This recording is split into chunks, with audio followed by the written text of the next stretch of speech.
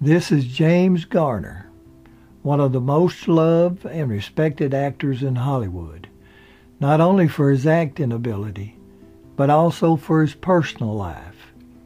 He was born James Scott Bumgarner on the 7th of April 1928 in Norman, Oklahoma. James had two older brothers, Jack and Charles. Now, this is a picture taken in 1931 of James, his mother Mildred, and his two brothers. They're standing in front of gas pumps at his daddy's grocery and hardware store. Weldon, James's daddy, whom they call Bill Bumgardner, his store was located in the Denver community, just outside of Norman. Now, the location of his store is now gone because it's underwater beneath Lake Thunderbird. James Garner's family has deep roots in the founding of Oklahoma. Actually, his mother Mildred was one half Cherokee, and years later, Garner will name his movie production company Cherokee Productions in honor of his mother's Cherokee heritage. Only a few days after James's fifth birthday, his mother suddenly dies of heart disease on the 17th of April 1933. It was a tremendous shock to everyone. Mildred Scott Bumgardner is buried at the Fairview Cemetery in Shawnee, Oklahoma. She was only 26 years old. After his mother's death, the boys were separated living with relatives until the next year in 1934 when their dad, Bill, married Wilma Riesinger. Their nickname was Red. According to the boys, the next nine years they suffered under their stepmother's strong hand, including severe beatings and verbal abuse. The boys said that she was especially mean to young James. In 1943, when James was 14, he had a heated argument with Wilma.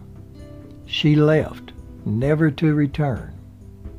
After Wilma left, their dad moved to Los Angeles, and the boys stayed in Norman with family.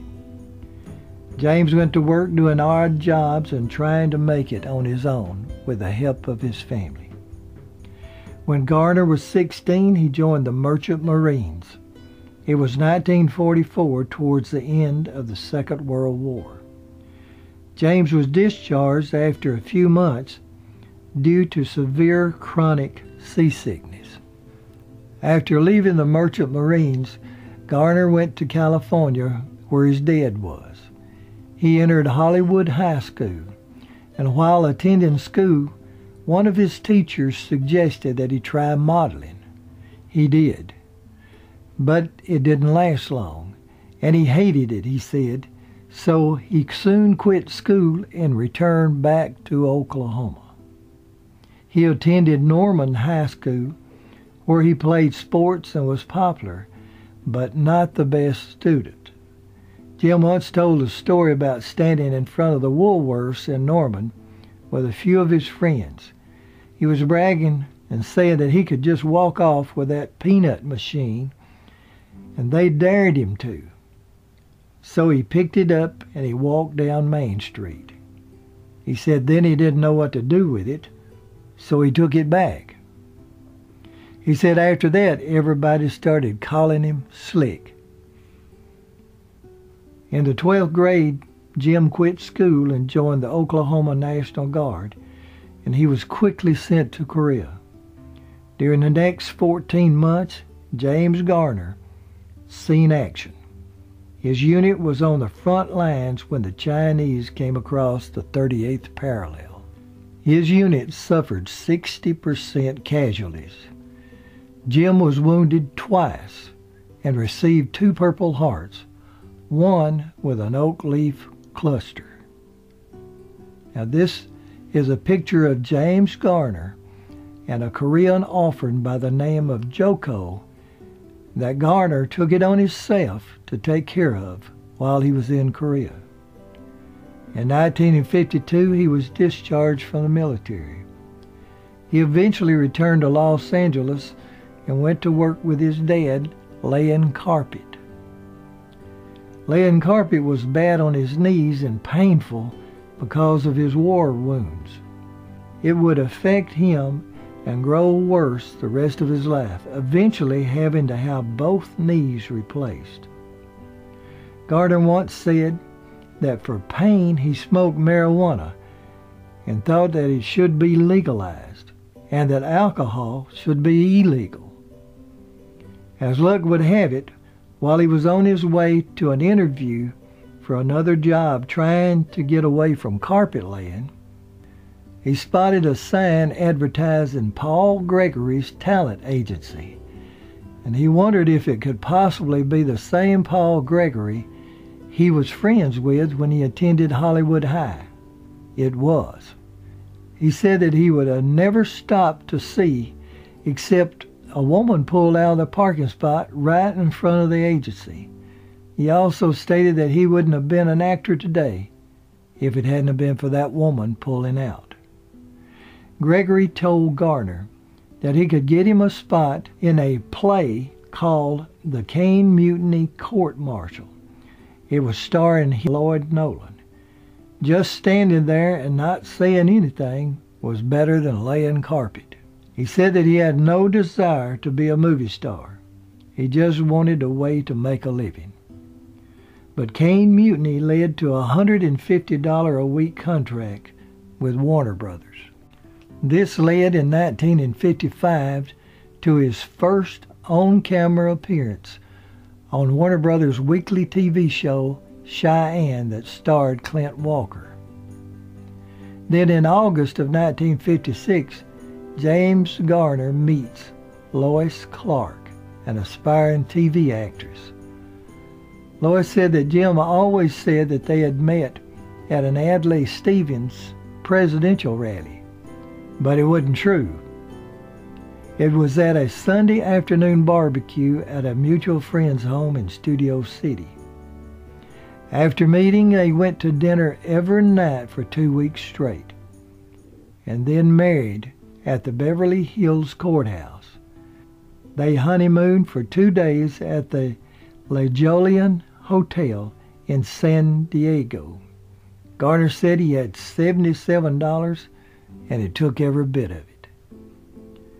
Now, this was a true Hollywood romance that lasted almost 58 years until his death.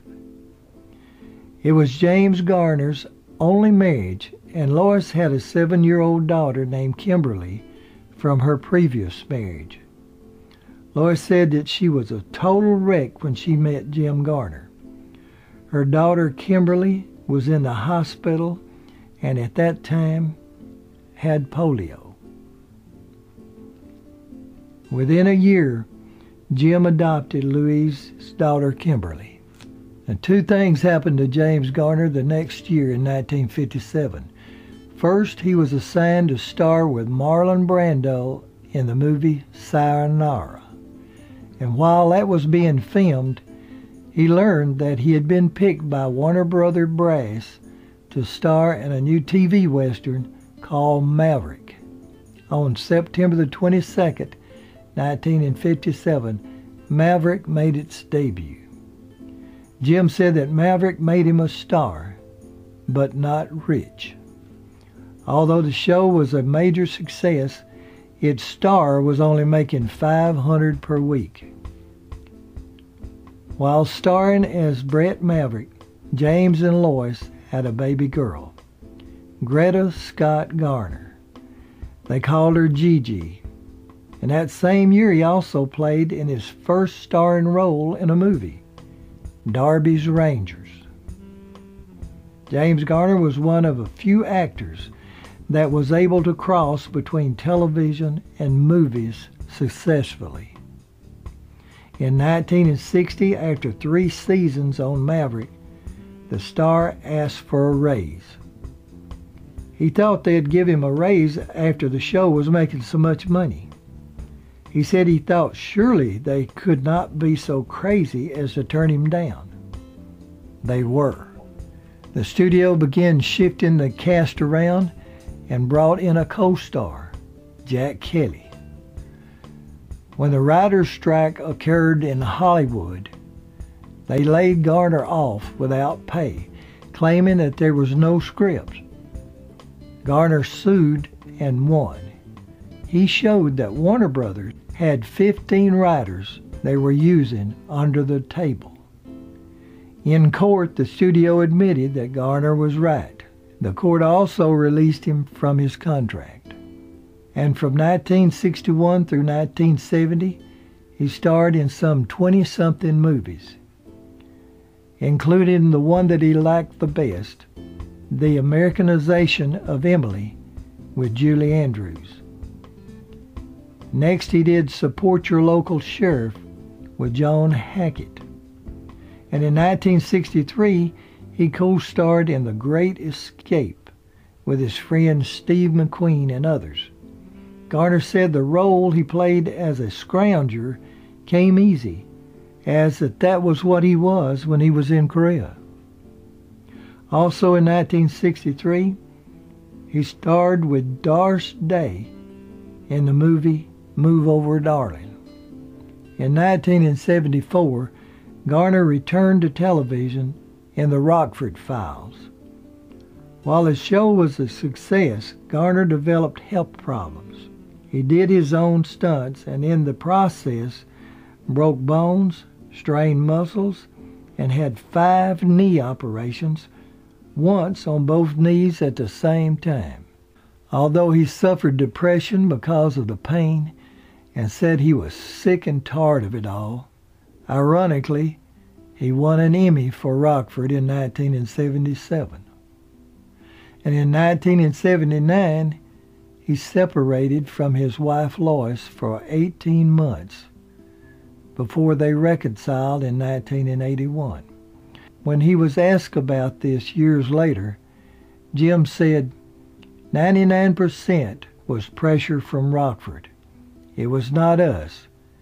It was me needing to get away and get my head together. And in 1980, the Rockford files stopped all of a sudden. Jim's doctors ordered rest for his bleeding ulcers. Although Garner owned 37.5% of the Rockford files, he suspected that the studio uh, was cheating him out of profits from syndication and foreign sales. Jim said right is right, and he always took up for the cast or anyone that was being bullied, whether it was Universal Studios or an abusive stepmother. He never decked anyone, he said, that didn't deserve it. Jim filed suit against Universal and it took until 1989 to reach a settlement. He stated he wasn't allowed to reveal the amount that they paid him, but that his wife Lois had to remind him to wipe the smile off his face. After Rockford in 1981, he starred in a series of commercials for Polaroid with actress Mariette Hartley. And in 1984, Jim's brother Charles died. The next year in 1985, James stars with Sally Fields in Murphy's Romance. For this role, he was nominated for an Oscar. Now, after James's death in 2014, Sally Fields said, My heart is broken. There are few people on this planet that I've adored as much as I've adored James Garner. A year after Murphy's romance, Jim's dead. Bill Baumgartner dies March in 1986. He was buried at the Forest Lawn Memorial Park in Hollywood Hills, California. He was 85 years old. In 1988, James Garner was rushed to the Cedar Sinai Hospital with chest pains, where he had quintuplet bypass heart surgery. Two years after his heart surgery, Garner had replacement knee surgery. And in 1994, he starred with Mel Gibson and Jodie Foster in The New Maverick.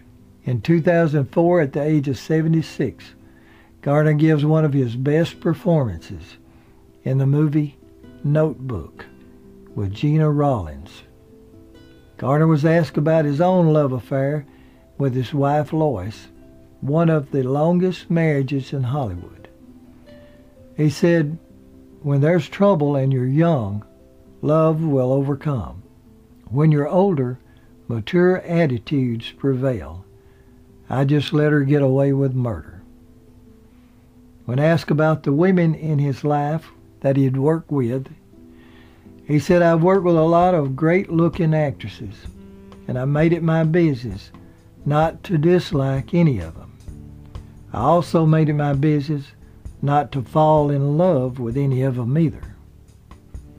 And in May of 2008, when Jim was 80 years old, he suffered a severe stroke. He was cared for at home by his family. In 2011, on September the 13th, Jim's brother, Jack Garner, also an actor, dies at the age of 84. Two years later, on July the 19th, 2014, around 8 p.m., medics were called to 33 Oakmont Drive in Brentwood, the house that James and Lois Garner had lived in for 58 years. He was pronounced dead of a massive heart attack. At his request, there was no memorial service and his body was cremated. James Garner's star is on the Hollywood Walk of Fame located at 6927 Hollywood Boulevard. Now this is a 10-foot statue in Norman, Oklahoma dedicated to James Garner, a true Oklahoman that often returned to his hometown where many of his relatives still live. After James Garner's death, Gigi, one of his daughters, said, My father was the only man that actually lived his life by the golden rule. He spent his life discreetly doing random acts of kindness. My dad went through his entire Hollywood career without a single scandal or blemish. James Garner was 86 years old.